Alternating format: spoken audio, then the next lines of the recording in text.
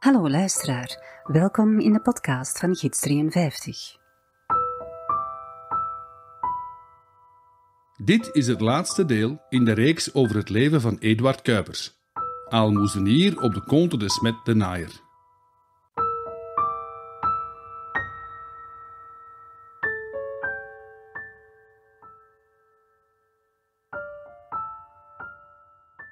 De Gazet van Antwerpen kopt die 13 januari in het groot op pagina 2 De Conte de Smet de Naaier in de haven.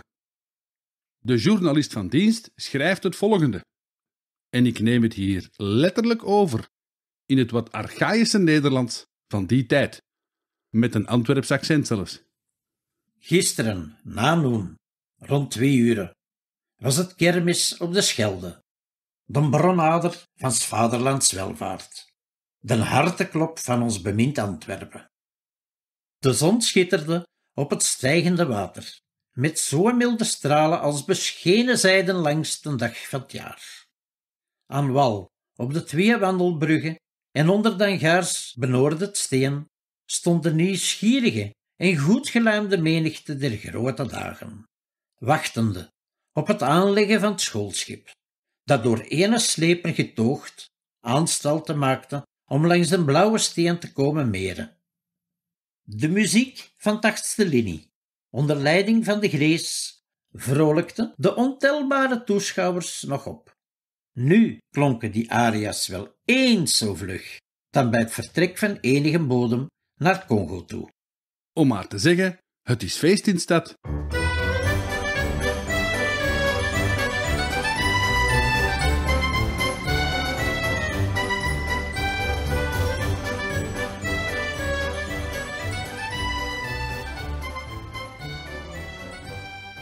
De kades staan vol met hoogwaardigheidsbekleders, familieleden en kijklustigen. En allemaal kijken ze rijkhalzend uit naar het weerzien met zonen, vaders en broers. Het schip is heel huids weer thuisgekomen, na meer dan elf maanden op zee. Want zoals de gazet schreef... Nu was het uit met beven en vrezen. De lang vermisten waren eindelijk daar. Senatoren, de kabinetchef van de minister van Handel en Transport, baron de Thiège van de Association Maritime, baron van Zuilen, de gouverneur. Ze kunnen niet snel genoeg aan boord gaan om te speechen, om op de foto te gaan. De familieleden van de bemanning volgen in hun zog. Overal omhelzingen, tranen van geluk, maar ook tranen van verdriet voor de twee onfortuinlijken die de reis niet overleefd hebben. Na alle plichtplegingen aan dek trekt het gezelschap in stoet naar het stadhuis en Schoonverdiep. Daar wacht een rijkelijke receptie. Jan van Rijswijk, burgemeester, neemt het woord. Ook gouverneur Kogel speecht, en deze keer in het Nederlands. Ze bedanken alles en iedereen uitvoerig. Ze decoreren zelfs enkele bemanningsleden voor de heldhaftige redding van een schip in Chili. Nu, van onze kadet weten we dat het een omgeslagen sloep was, waar er vijf drenkelingen op zaten. Maar ja, alles voor de heroïek van de Belgische zeelui. De drink eindigt met een algemeen geëxclameerd. En vooral de wens, nee, de eis, dat de conte weer zo snel als mogelijk moet vertrekken, tot eer en roem van België. De journalist van de Gazet gaat helemaal mee in het verhaal. Hij sluit zijn artikel af met de volgende woorden hopen wij dat wij menigenmaal dergelijke terugkomsten mogen beleven. België's uitbreiding zal er zich best bij bevinden, en een wapen te meer zal onze kinderen te beschikking staan in den harde kamp voor het leven. U voelt duidelijk, beste luisteraar, hoe belangrijk dit commercieel en nautisch succes wel is. De halve regering en veel chic volk is present. De speeches staan stijf van bombastisch taalgebruik. Dit is het hoogtij van het Belgische expansionisme. En de Antwerpse haven en de contours met de naaier spelen daar een cruciale rol in. En waar is Eduard Kuipers in heel dit verhaal? Wel, hij wordt genoemd en geroemd. Hij hielp de dokter en de verpleger met de zorg van de zieken. Er wordt gezegd dat zonder zijn hulp en zielenzorg er nog meer mensen zouden gestorven zijn aan boord van de Conte. Stabroek, 21 januari 1906. Het is feest voor Eduard Kuipers.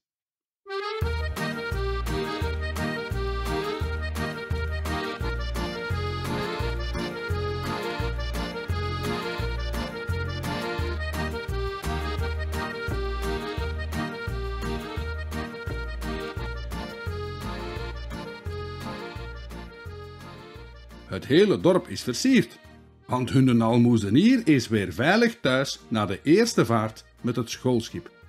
Overal in het dorp hangen er affiches met het programma van de feestavond. Ik lees even voor. Welkom.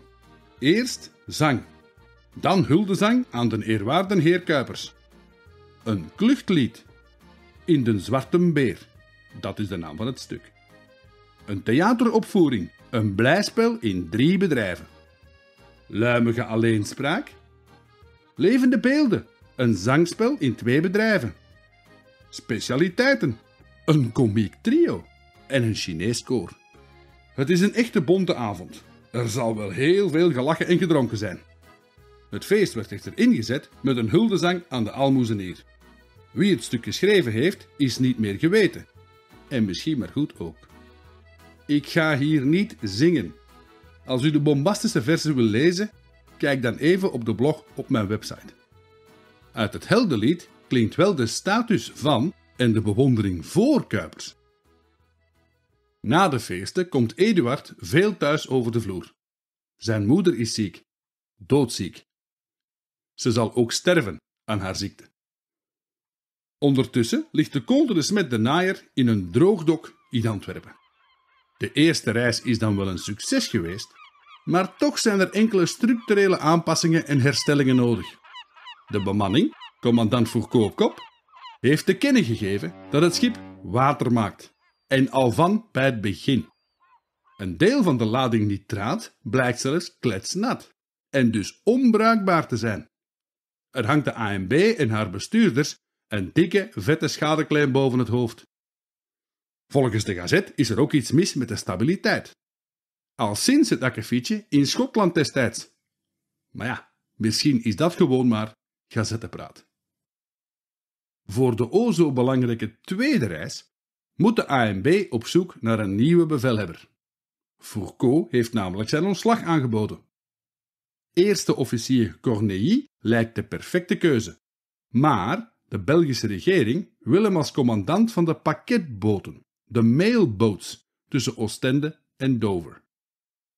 Deze Corneille zal in Antwerpen de conte nog wel grondig inspecteren.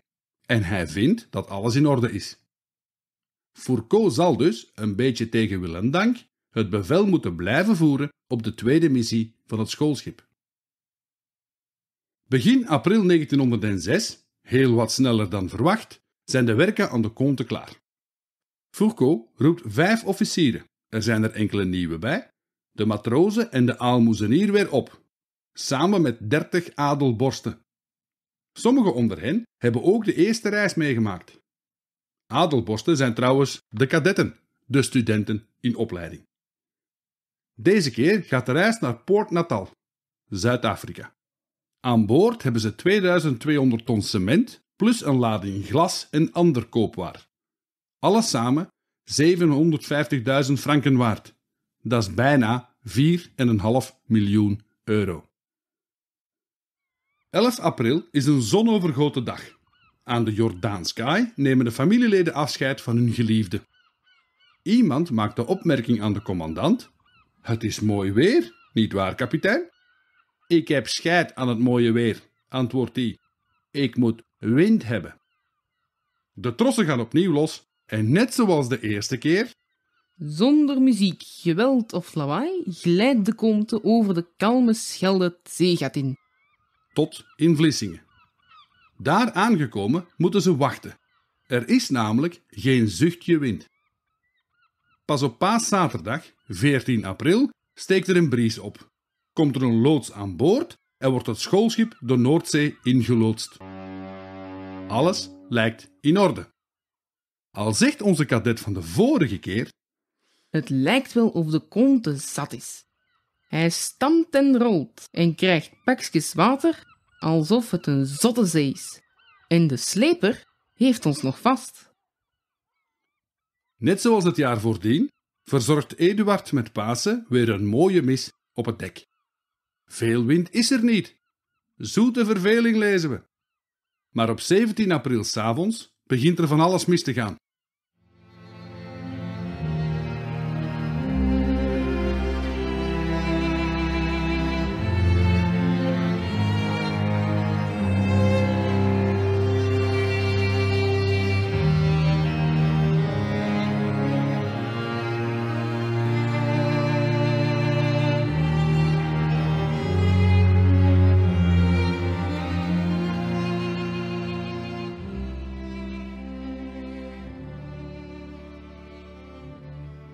Er staat al water op het tussendek. Fourcault en de officieren blijven aan dek. Ook s'nachts. En dat is een veegteken. Het water blijft maar komen, maar de konte zeilt gewoon verder. De keuken loopt onder water. De slaapkamers ook.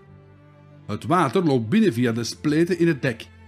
Het is tijd om te pompen, hoog tijd. Maar de handpompen werken al niet meer hoewel ze nagelnieuw zijn. Met emmers probeert de bemanning het water te baas te blijven. Scheppen, scheppen, scheppen en water dragen van s'morgens tot s'avonds, ook s'nachts, zonder te stoppen. Maar het water staat een voet hoog in de kajuiten. Het is overal. Het schip danst en stampt. Er is niks meer aan te doen. Kapitein van Zuilen checkt het ruim. Ook daar, overal water. Hij wil de stoompomp in werking zetten. Te vergeefs. De buizen zijn al volgelopen. De stoom kan zich niet meer ontwikkelen. Aan boord wordt er geroepen. Het schip is vol en het is ermee gedaan. Gedaan, zeg ik u. Een getuige zegt later: Ik vermoed dat hij toen reeds midscheeps volledig onder water heeft gestaan en dat hij alleen maar bleef drijven op zijn reserves. De 19e april is het de 45e verjaardag van Fourcault maar veel valt er niet te feesten. Om vier uur s morgens beveelt hij all hands on deck. De zeilen worden gestreken. Tot zolang is de kont gewoon blijven doorvaren. De sloepen worden klaargemaakt, de reddingsvesten uitgedeeld. Vele kadetten denken nog altijd dat het een drilloefening is. De kapitein staat nog rustig een sigaretje te roken, alsof het hem allemaal niet kan deden. Plots zien ze een licht in de verte. Enkele matrozen kruipen in de masten, schieten vuurpijlen af, maar tevergeefs. Het licht verdwijnt steeds verder weg. Onze kadet schrijft later: Het was puur ingebeeld. Imaginatie van mannen, kinderen die allemaal heel goed wisten dat ze gingen zinken. Ter hulp, een schip in nood, wordt er van op het dek geroepen. Voor dovemans oren, er is niemand in de buurt. Om zes uur worden de reddingssloepen uitgezet. Drie slaan er te pletter tegen de wand. Twee bemanningsleden verdwijnen in de golven. Er is er één die niet kan zwemmen. Stel je dat voor. Enkel de vierde sloep blijft drijven. Kapitein van Zuilen organiseert de redding. Echte paniek heerst er niet. Onze kadet gaat te bichten. Iedereen gaat te bichten bij aalmoezenier Eduard. Hij zegt, en dit zijn bijna de enige woorden die ik van Kuipers heb kunnen terugvinden: Het is geen kwestie van berouw. Alle zonden zijn je vergeven, jongen. En heb moed en tracht u te redden. Na de biecht beveelt de commandant zijn almoezenier om plaats te nemen in de sloep. Hij weigert. Hij zei iets in de zin van dat de anderen maar moesten instappen, want dat hij nog zielen te redden had. Onze getuige zegt er later over Ik dacht, als de nabije zielen gaat redden, is het hoog tijd dat ik mijn vel red. Hij springt wel in de sloep en het is op nippertje. Fourcault staat nog steeds pal aan het roer. De officieren proberen zoveel mogelijk mannen van boord te krijgen. Eduard Kuipers, tot aan de knieën in het water, zegent terwijl hij zich vasthoudt aan de reling van de kaartenkamer. En dan gaat het snel. Om 7 uur en 10 s morgens verdwijnt de achtersteven van het schip in het water. Kuipers maakt een laatste kruisteken. Luttele seconden later is de Conte de Smet de Naaier verdwenen in de golven. Volgens de kadet roepen de achterblijvers nog, Adieu, het gaat jullie goed. maar dat lijkt me toch eerder voer voor een heldenepos. Een andere getuige zei later namelijk, de 21 mannen die in de sloep zijn geraakt, horen nog collega's en kameraden roepen om hulp, maar die kunnen ze niet bieden. 33 bemanningsleden verdrinken daar op dat moment in de golf van Gascogne. Onder hen Eduard Kuipers, aalmoezenier uit Stabroek, 33 jaar.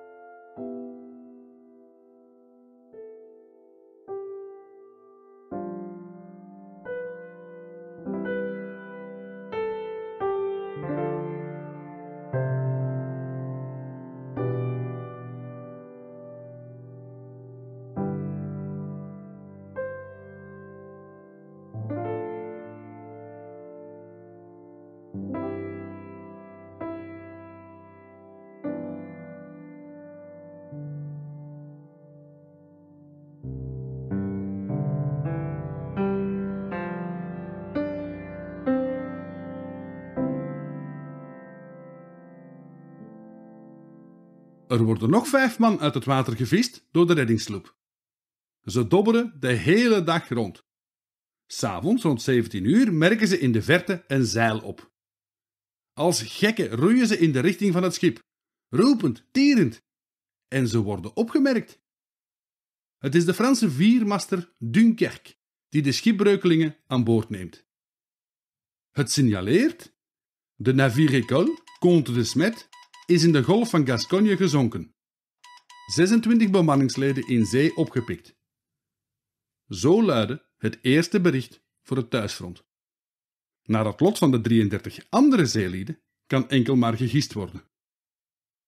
Een tweede telegram wordt vanuit Dover verzonden door luitenant van der Plassen, professor van de mathematieken. Het luidt: het schip is gezonken de 19e, ten half acht morgens op ongeveer 47 noorderbreedte en 430 westerlengte. Eén enkele boot werd gered. Van der Plassen geeft deze keer de namen van de overlevenden door. In de polder, in Stabroek, zijpelt het nieuws ook binnen. Is Eduard dood of levend? Zijn er misschien nog andere sloepen gered? Een getuigenis uit 1912 zegt hierover. Telefoon en telegraaf deden werk tot laat in de nacht. En ja, eindelijk bevestiging gekregen van hetgeen de broeder van Eduard zei. Zo niet allen gered zijn, is Eduard bij de verdronkenen. Hij kende hem. Immers, dag voor zijn tweede vertrek, zegde de vrome priester Zo ge ooit verneemt dat bij enige gebeurlijke ramp enige van ons schip niet gered zijn, denk eraan dat de kapitein en ik zeker het laatst van boord zullen gaan. Als al de anderen gered zijn, pas dan zijn wij aan de beurt, en niet vroeger. Zijn woorden zouden slechts enkele dagen later bewaarheid worden. De Dunkerk ligt in Dover voor anker, maar de drenkelingen mogen niet van boord. Ze moeten mee naar Koekshaven bij Hamburg. Vreemd, niet? De pers krijgt er lucht van. Waarom doet men zo geheimzinnig over de ramp? Blokletteren de kranten. Er klopt iets niet. Heeft men iets te verbergen? Doet men hier een vertragingsmanoeuvre? De gazetten speculeren erop los. In Hamburg aangekomen staan er afgevaardigden van de ANB te wachten op de overlevenden. Ze krijgen nieuwe kleren en dan, hop, de trein op richting Antwerpen. En de opdracht dat ze moeten zwijgen. Zeker tegen de pers. België is immers in shock en in diepe rouw. 33 slachtoffers, waarvan 18 kadetten. De jongste was amper 18 jaar. De crème van onze jonge natie, verloren voor altijd. Maar wiens schuld was het? Waar blijven de antwoorden? Al snel wordt er naar Fourcault gewezen. De commandant is omgekomen en wordt het zwarte schaap. Een overlevende beweert zelfs dat hij bewust het schoolschip wilde laten zinken. Hij wilde iedereen laten verdrinken. Hij zou dronken geweest zijn, zot geworden. Ook de maritiem krijgt de volle laag in de pers. Was de boot wel zeewaardig? En wat met het stabiliteitsprobleem? In de kranten wordt er ook gesproken van een geweldige storm. De Conte de Smet zou verzwolgen zijn geweest door de golven in de Golf van Biscayen. De scheepsverslinder. Er waren er al zoveel vergaan in dat stukje Atlantische Oceaan. Minister de Smet de Naaier wordt op het matje geroepen bij prins Albert, de latere koning Albert. Die wilde de ware toedracht kennen. Wat er daar besproken is, heb ik niet kunnen vinden. Maar is daar het dekseltje op het potje gegaan? Er volgt een officieel onderzoek in 1907. Daarin wordt de Maritieme Zeevaartvereniging vrijgepleit van enige schuld. In 1910 wordt ook Fourcault in ere hersteld door het Hof van Beroep. De officiële eindconclusie? Wel, die blijft heel vaag en duister. Wie zee zegt, zegt ramp. Ongeluk en noodlottigheid, Dixit de directeur van de Red Star Line. En daarmee was de kous af. Officieel althans. Het potje ging dicht en het is ook heel lang dicht gebleven.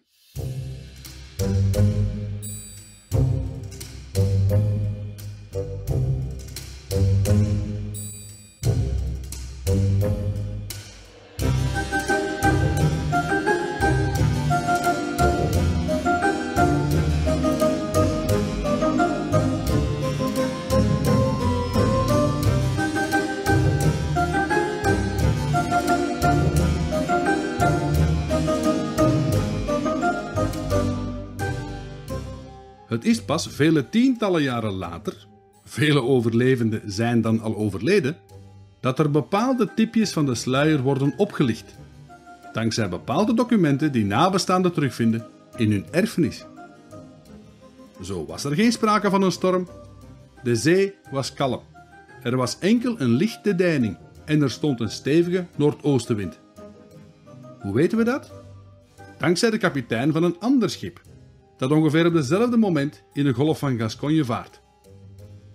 Er is uren in de omtrek ook geen enkel stuk scheepswrak te bespeuren. Wat toch wel zo zou moeten zijn, moest de Conte schipbreuk geleden hebben door een storm. Maar wat was dan wel de oorzaak? In 1956 herdenkt de Oostense volkskundige Eduard van Alderweireld 50 jaar scheepsramp met de Conte de Smettenaaier in een tijdschriftartikel. Luister even mee wat hij schrijft. Van uur tot uur werd de diepgang groter, zonder dat men aanvankelijk een verklaring voor dit eigenaardige verschijnsel wist te vinden. Tot men plotseling de oplossing van het raadsel ontdekte. Het schoolschip had als ballast een lading cementblokken aan boord, en dagenlang hadden deze blokken het indringende water opgezogen, met als gevolg dat die lading van dag tot dag zwaarder werd. Het feit dat het water door de cement werd opgezogen, verklaart tevens dat het zo lang duurde voor men erachter kwam dat er een lek in het schip was. Pas toen de cementblokken verzadigd waren, begon het water in het laadruim zichtbaar te worden. En op dat moment is het al te laat. Men zet de pompen nog aan, maar tevergeefs. Jules de Meulemeester, 20 jaar in 1906, en overlevende van de ramp, schrijft veel later in zijn memoires: Normaal moesten wij tweemaal per dag de ruimen peilen, maar dat kon nu niet meer. Het hoofddek kwam bij elke slingering onder water te staan. En dat is gebeurd omdat er een verkeerde manipulatie is geweest aan de Kingston-kranen van de ballasttanks, die bedoeld zijn om een zeilend schip in volle zee mooi op de waterlijn te houden. Weet u nog, luisteraar? eerste officier Cornilly had net voor het vertrek de installaties nagekeken en de pompen bijgesteld. Volgens de meulemeester was het een nieuw soort pomp en heeft de voormalige stuurman van de kont daar een fout begaan. Als je deze verklaringen wat ramp leest, dan vallen de puzzelstukjes wel mooi in elkaar. Bij vertrek in Antwerpen voelen sommigen al letterlijk nattigheid. Ook in Vlissingen zijn er die vinden dat het schoolschip zich heel vreemd gedraagt. De kont zal waarschijnlijk al water gemaakt hebben van bij het begin. En de AMB zal dit wel te weten zijn gekomen door de getuigenissen van de overlevenden.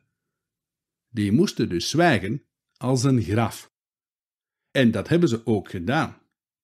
De vraag is altijd wel gebleven waarom Fourcault in hemelsnaam is blijven doorvaren.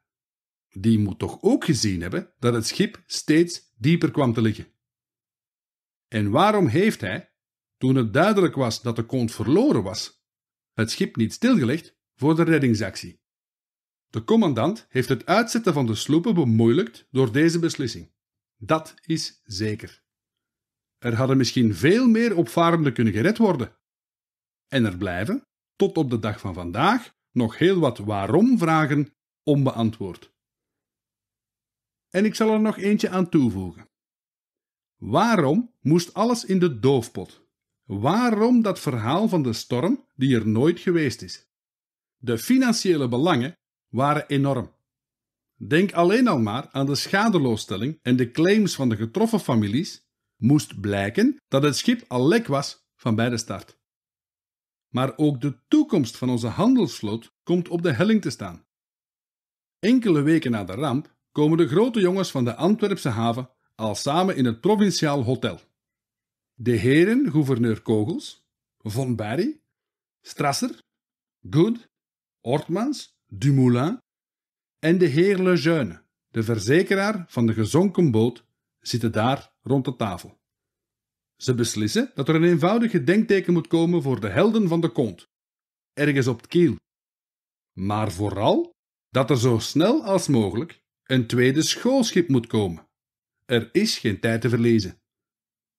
Een jaar later is de Contes met de Naaier 2 al een feit. Dit is echter een stationair schip. Het ligt vast aan de kade. Eind 1907 is de Avenir klaar. Het nieuwe varende schoolschip dat de Belgische zeevaartofficieren zal opleiden tussen 1908 en 1932. Enkele overlevenden van de Comte 1 zullen het commando voeren op de Avenir.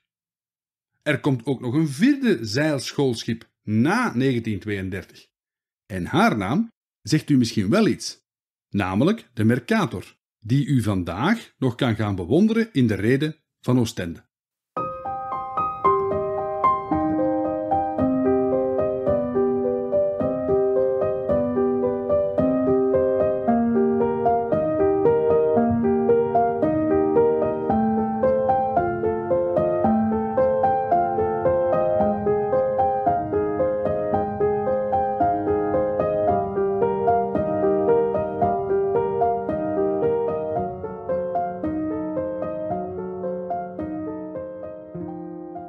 België rouwt. Er moet een monument komen ter nagedachtenis van het offer van Slans onfortuinlijke zeevaarders. Ter financiering hielden de leerlingen van de middelbare scholen een reeks collectes. Het offer van hun leeftijdsgenoten had hen spontaan geïnspireerd. Toen ging dat zo natuurlijk. De bijeengesprokkelde fondsen bleken absoluut niet voldoende. Dus werden er in alle katholieke scholen over het hele land acties opgezet. Ook het dagboekje, waaruit ik al de hele podcast citeer, werd gepubliceerd ter financiering. En nog even terzijde, ook dit drukwerk zelf bewijst dat er moest gezwegen worden. Want hoe uitgebreid het verslag van de eerste reis was, zo kort is het relaas over de noodlottige tweede reis. En het verhaal stopt abrupt op weg van Hamburg naar huis. Ineens is het gedaan. Op zijn minst heel toevallig te noemen, niet? Ook het verhaal van het monument zelf is typisch Belgisch. Toen bleek dat enkel de namen van de uit Brussel afkomstige slachtoffers op de sokkel van het monument zouden worden vereeuwigd, ontstond er commotie. Of wat had je gedacht? Een vader van een verdronken kadet dreigde ermee om de vuile was buiten te hangen, als niet alle namen zouden vermeld worden. Na jaren van fondsen werven en het kiezen van het ontwerp, is het op 9 juli 1912 eindelijk zover. Op het Jan Jacobsplein in Brussel, onder de koepel van het impressionante Justitiepaleis, wordt het standbeeld van beeldhouwer Charles Samuel onthuld. In het bijzijn van koning Albert werd er een sobere kantate gebracht. Het beeld stelt een jonge knaap voor die met een dapper gebaar uiting geeft aan zijn lust om het ruime sop te kiezen. In het Frans le grand large. Het doet me denken aan de jonge Eduard Kuipers, die ook de wijde wereld in wilde.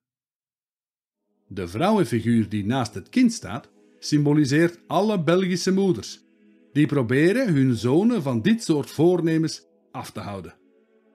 Helaas. De enige rechtstreekse verwijzing naar de scheepsramp zijn de brokstukken van een schip in Art Nouveau-stijl onderaan de sokkel.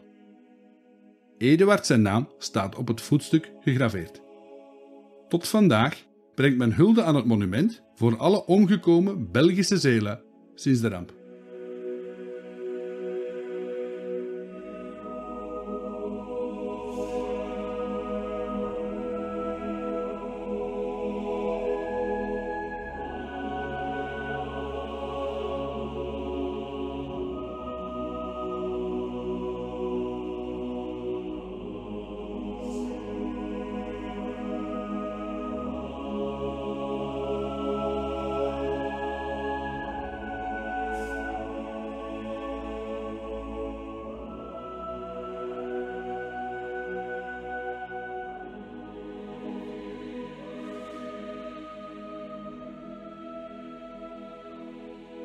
In Stabroek, in de polder en in het Sint-Jan Bergmans College is de verslagenheid groot.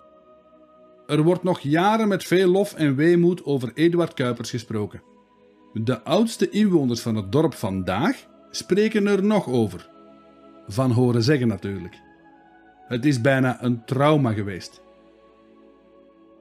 Op 8 mei 1906 wordt er een zielenmis gehouden voor de aalmoezenier. Het dorp staat ditmaal in rep en rouw. Het kerkje is weer te klein.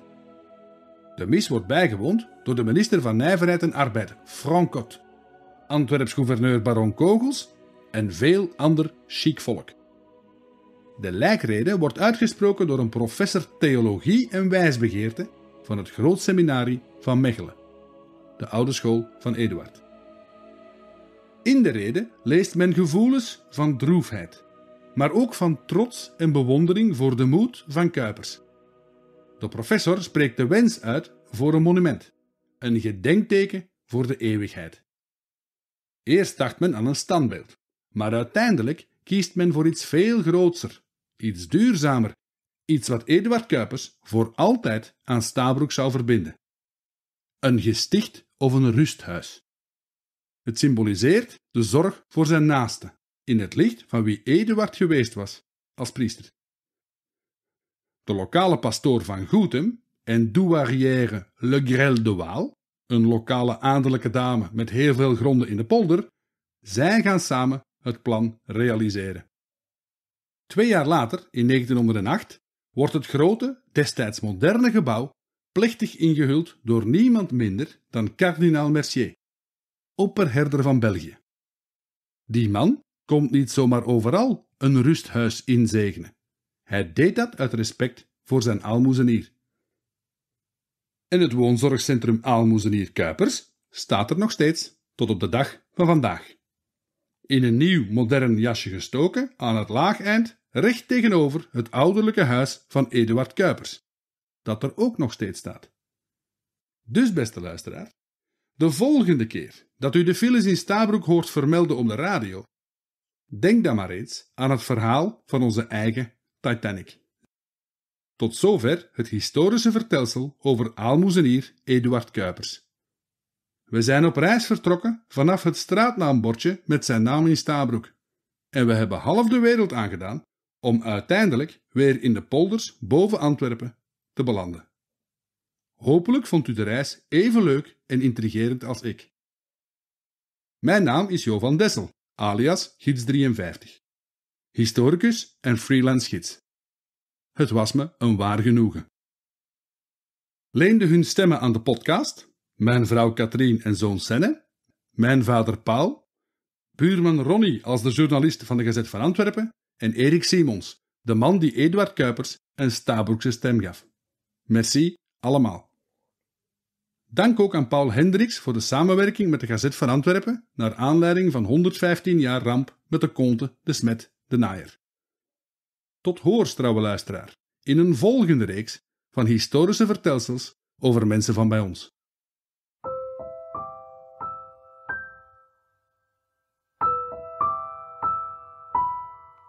Dit was een podcast, geschreven en verteld door Gids 53.